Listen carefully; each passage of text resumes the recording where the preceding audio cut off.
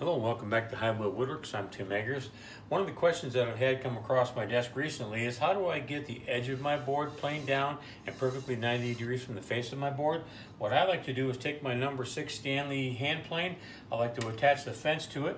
I like to assure that it's 90 degrees with the square, of course. I'm going to set it on there. I'm going to run it across.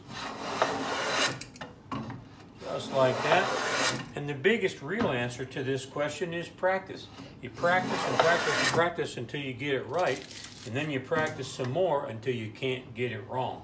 It's called a reflexive action habit, and it just simply means that you're going to do it the same way every single time, and you're going to expect to get those same great results every single time. So again, practice uh, until you can figure out how to do it well, and then practice until you can't get it wrong.